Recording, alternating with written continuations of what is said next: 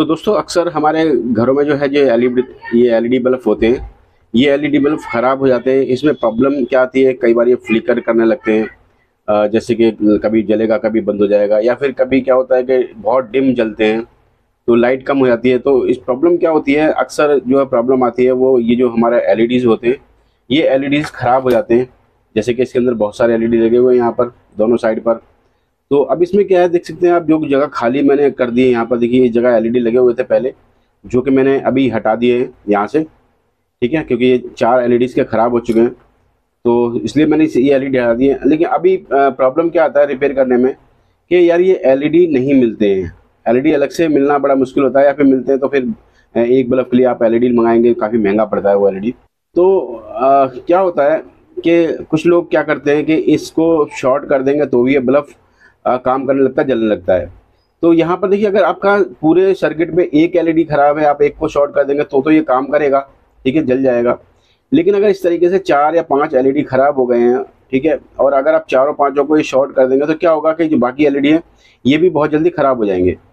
क्योंकि ये सारे एलईडी जो लगे हुए हैं, वो सीरीज़ में लगे हुए हैं, ठीक है, ये सारे एलईडी सीरीज़ में और जो इसमें जो वोल्टेज आता है इनपुट जो आता है इसका, वो करीब करीब डेढ़ सौ या पौने दो सौ वोल्टेज के आसपास इसके अंदर आता है, ठीक है?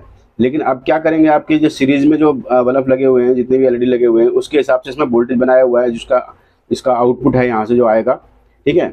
अब क्या करा है अपने के एलईडी कम हो गए यहाँ पर, एक, दो, तीन, चार एल एलईडी कम हो गए और हमने क्या करा इन सबको शॉर्ट कर दिया। अगर शॉर्ट कर दिया तो क्या होगा कि ये वोल्टेज जो इस एलईडी के वोल्टेज से ज़्यादा हो जाएँगे, है ना?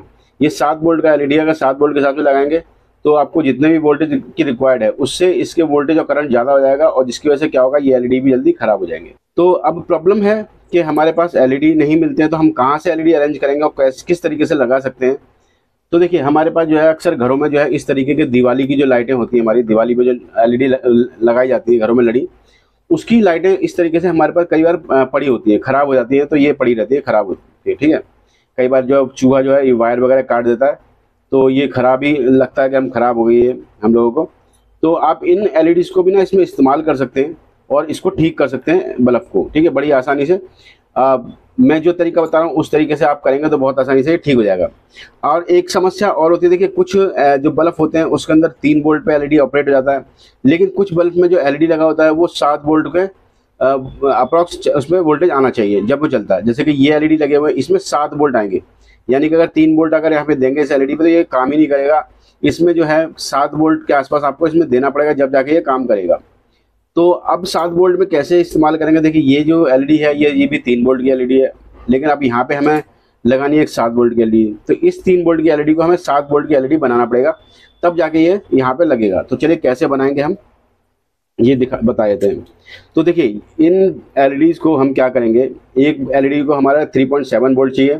तो दो एलईडी में करीब सात वोल्ट हो जाएगा। तो हम क्या करेंगे? दो एलईडीज को जो है सीरीज़ में कनेक्ट कर देंगे। सीरीज़ में कनेक्ट करने के बाद जो है, फिर हम इसमें इसको लगा देंगे।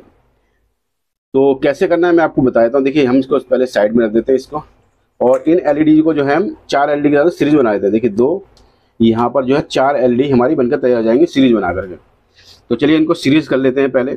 सीरीज़ करने के बाद फिर इन एल को इस पर बल्ब पे लगा के फिर बल्ब की टेस्टिंग करेंगे। तो दोस्तों, अभी इसमें देखिए सीरीज़ बनाने के लिए हमको ये भी पता होना चाहिए कि एलईडी का नेगेटिव और पॉजिटिव कौन सा है तो आपको ये भी पता होना चाहिए ना। तो चलिए, हम एक बार इसका नेगेटिव पॉजिटिव पता कर लेते हैं कि नेगेटिव पॉजिटिव कौन सा है एलईडी का। फिर उसके बाद फिर इसको सीरीज़ करेंगे। तो मैंने यहाँ पर जो अपनी दोनों मल्टीमीटर की प्रॉप हैं, इन प्रॉप को जो है अपनी डीसी मशीन से कनेक्ट कर लिया, वहाँ पर 3.7 वोल्ट को सेट कर दिया है। तो अभी मुझे जला के यहाँ पे देखनी है। देखिए, यहाँ पे ये जल रही है, काम कर रही है, ठीक है। अगर मैं इसको पलट के लगा दूँ यहाँ पर, इस तरीके से तो ये काम नहीं कर रही है, ठीक है? तो आपको इस तरीके से आप नेगेटिव पॉजिटिव पता कर सकते हैं इसके अंदर कि जिस तरफ़ जल रही होगी, उस तरफ़ उस तरफ़ ये जो है नेगेटिव पॉजिटिव आपको पता चल जाएगा। देखिए, यहाँ पर जो हम यहाँ लगा रहे हैं इस तरीके से तो ये वाला पॉइंट हमारा पॉजिटिव है, ये पॉइंट नेगेटिव है। तो अब हमें क्या करना है, इस पर मार्क कर देना है नेगेटिव पॉजिटिव को। तो देखिए, ये पॉजिटिव है तो हम पॉजिटिव को नेगेटिव को मार्क कर देंगे। यहाँ पे देखिए, ये नेगेटिव को हमने मार्क यहाँ मार्क कर दिया है। और इसी तरीके से हमें सारी एलईडी पता कर लेनी है। तो देखिए, यहाँ पर जो है हमारी एलईडी भी टेस्ट हो गई है कि एलईडी हमारी सारी वर्किंग है और हमने जो है नेगेटिव पॉजिटिव को भी मार्क कर लिया है यहाँ पर। तो अब हमें सीरीज़ कैसे बनानी होती है? देखिए सीरीज़ बनाने के लिए हमें दो एलईडी लेनी है और दोनों एलईडी को हम थोड़ा पास पास से यहाँ छीन लेंगे। तो गाइज़ देख सकते हैं कि दो एलईडी मेरे पास है यहाँ पर। अब हमें इसको सीरीज़ बनाना सीरीज़ बनाने के लिए दोस्तों क्या करना पड़ेगा हमें? कि हमें जो है एक नेगेटिव और एक पॉजिटिव को, एक एलईडी का नेगेटिव और एक एलईडी का पॉजिटिव को आपस में जोड़ना पड़ेगा। तब जाके सीरीज़ बन पाएगा, ठीक है? तो देखिए, यहाँ पर मैंने पॉजिटिव वाले को इसको छील लेता हूँ, यहाँ पर इस तरीके से ये छील लिया और इधर वाला जो नेगेटिव है, मैं इसको ये छील लेता हूँ, ठीक है? इस तरीके से मैंने छील लिया। अभी क्या करेंगे मैं, इसको दोनों को मिला करके मैं यहाँ पर इसको जोड़ दूँगा। तो देख सकते हैं कि मैंने इस एलईडी को जो है यहाँ पे जोड़ दिया और इसको अब क्या करना है, सही से सोल्डिंग भी कर देना है। या तो आप चाहे तो ऐसे भी छोड़ सकते हैं, कोई दिक्कत नहीं। मैंने इसको सही से मरोड़ दिया है। मरोड़ करने के बाद जो है, आप इसको हल्का सा टेप यहाँ पे लगा सकते हैं। और नहीं तो जो है, इसको सोल्डिंग कर देंगे तो ज़्यादा बेहतर रहेगा, क्योंकि सोल्डिंग जो है जल्दी से टूटता नहीं है, निकलता नहीं है। जल्दी से उसमें स्पार्किंग भी नहीं आता है। तो चलिए देखिए, मैं यहाँ पर सोल्डिंग कर देता हूँ इसको। तो गाइज़ देख सकते हैं कि ये जो हमारा जो है, एक एलईडी बनके तैयार हो जाएगा। ठीक है? अब यहाँ पर जो हमने ये बीच में तो यहाँ पे सोल्ड कर दिया, इसको हम टेप लगा देंगे किसी, हल्की सी। और ये है, देखिए, हमारा जो है, एक नेगेटिव और एक पॉजिटिव बन गया अब इस नेगेटिव पॉजिटिव को हमें अपने सर्किट के अंदर लगाना होगा, इस वाली सर्किट के अंदर। तो चलिए, बाकी एलईडी को भी मैं एकदम इसको इसी तरीके से बना लेता हूँ, फिर जो है, इस पर कनेक्ट कर देंगे। तो गाइज़ देख सकते हैं कि मैंने जो है, चारों यहाँ पे जो एलईडी तैयार कर ली हैं, ठीक है सीरीज़ बना करके। तो चलिए, एक बार इनको भी टेस्ट कर लेते हैं कि ये दोनों काम कर रही है ये चारों एलईडी काम कर रही है कि नहीं कर रही है। तो अभी देखिए, तीन बोल्ट भी अभी मैंने लगाया हुआ है मशीन को। लेकिन तीन बोल्ट पे देखिए यहाँ पर ये कोई भी एलईडी यहाँ पे काम नहीं करेगी। और इसको प्लट के लगा के देख लेते हैं। देखिए तीन बोल्ट पे कोई भी एलईडी यहाँ काम नहीं करेगी।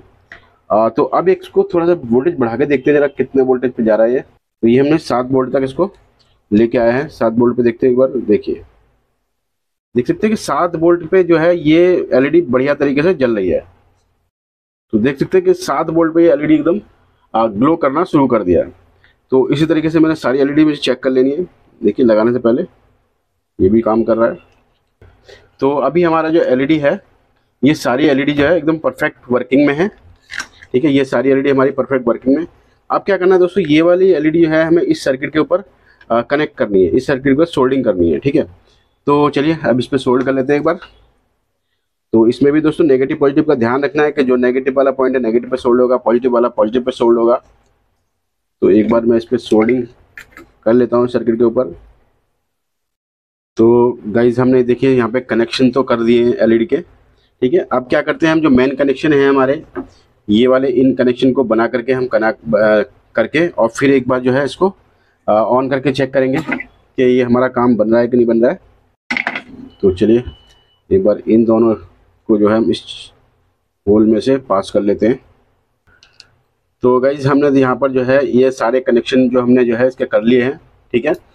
जो मेन कनेक्शन है हमने वो भी कर लिया अब क्या करना है हमको इसको जला के देखना है कि ये काम कर रहा है कि नहीं कर रहा है। तो दोस्तों देख, देख सकते हैं कि मैंने यहाँ पे जो एलईडी यहाँ पे लगा दी है ठीक है? एलईडी लगाने के बाद जो है हमारा ये बल्ब ग्लो करना शुरू हो गया है ठीक है? तो इस तरीके से दोस्तों आप जो है घर में पड़ी हुई बेकार एलईडी से भी अपना बल्ब को ठीक कर सकते हैं। ठीक है? तो इस तरीके जो है आप बड़े आसानी से यहाँ पे बल्ब को रिपेयर किया जा सकता है। तो यहाँ पे देखिए मैंने इसको लगा दिया तो अब ये बल्ब यहाँ पे ग्लो कर रहा है। अगर मैं लाइट बंद कर दूँ तो आपको देखिए, दिखाई देगा कि काफ़ी कुछ रोशनी यहाँ पे अच्छी रोशनी हो रही है इस तरीके देखिए आप बल्ब अपना ठीक कर सकते हैं। तो आई होप दोस्तों ये वीडियो आपको पसंद आया होगा वीडियो अच्छा लगा होगा। जो मैंने आपको बताया, आप एलईडी बल्ब को कैसे रिपेयर कर सकते हैं किस तरीके से जो है अपने घर में पड़ी पड़ी हुई पुरानी एलईडी को लगा करके अपने बल्ब को ठीक किया जा सकता है। तो उम्मीद है दोस्तों, आपको वीडियो पसंद आया। अगर वीडियो पसंद आया तो वीडियो को लाइक करके चैनल को सब्सक्राइब कर लीजिएगा। बेल आइकन को भी ऑन कर लीजिएगा ताकि मेरे सभी वीडियो के नोटिफिकेशन आप तक टाइम से पहुँचते रहें। तो चलिए फिर मिलते हैं किसी दूसरे वीडियो में, किसी ऑटो के साथ। तब तक के लिए बंदे नमस्कार।